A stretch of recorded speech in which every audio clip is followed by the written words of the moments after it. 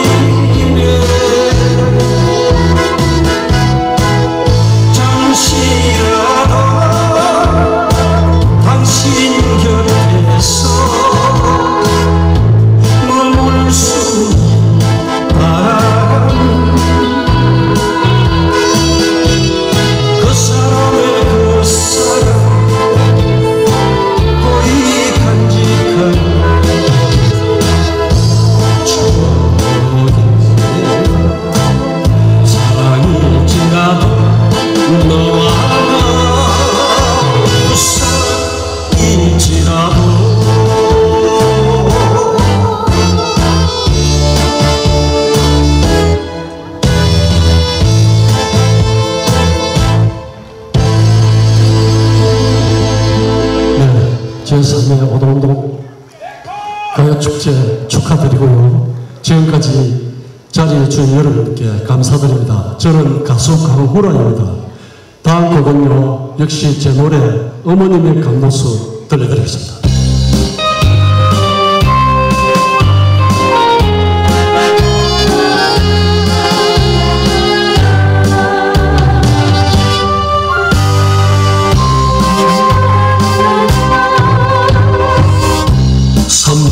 Pencereye çalışsın.